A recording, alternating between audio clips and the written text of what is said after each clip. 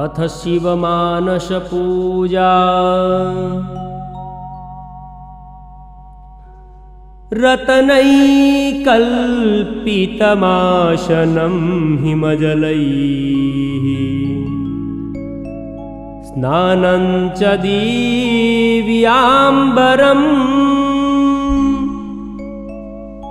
नानारत्नविभूषितं मृगमदा। मोदाङ्कितं चन्दनम् जातीचम्पकबिल्वपात्ररचितम् पुष्पं च धूपं तथा दीपं देवदयानिधे पशुपते रथकल्पितं गृह्यता सौवर्णे मणिखण्डरत्नरचिते।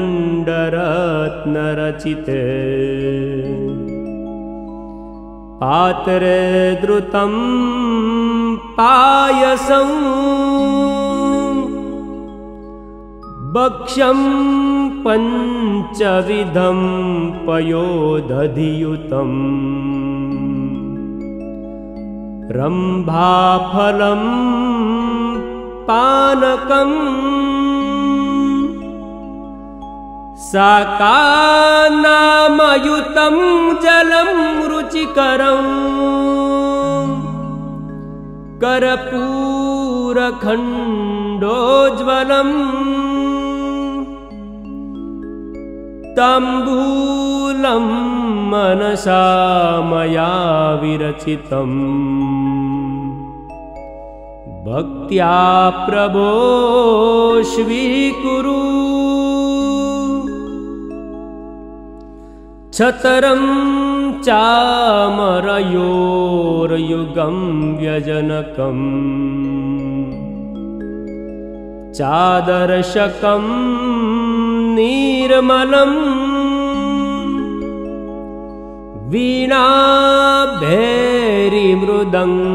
वीणाभेरिमृदङ्गकाहलकला गीतं च नृत्यं तथा साष्टाङ्गं प्रणतिस्तुतिर्बहुविधा ये तत्समस्तं मया सङ्कल्पेन समर्पितं तव विभो। पूजां गृहाण प्रभो। आत्मा त्वं गिरिजामति सहचरा। प्राणः गृहम् पूजा ते विषयो पभोगरचना। निदरासमाधिस्थितिः।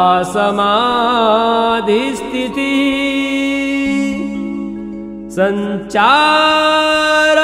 पदयो प्रदक्षिणविधिः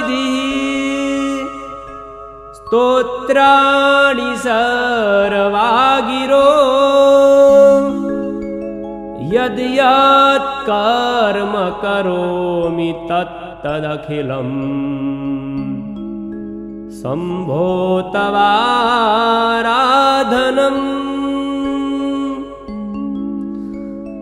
तव चरणकृतं वा?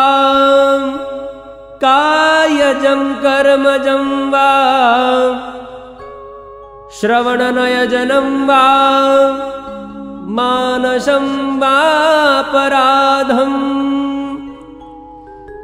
विहितं विहितं वा सर्वमेतक्षमक्षवा जय जय करुणाब्धे श्रीमहादेव शम्भू जय जय करुणाब्धे श्रीमहादेव शम्भो।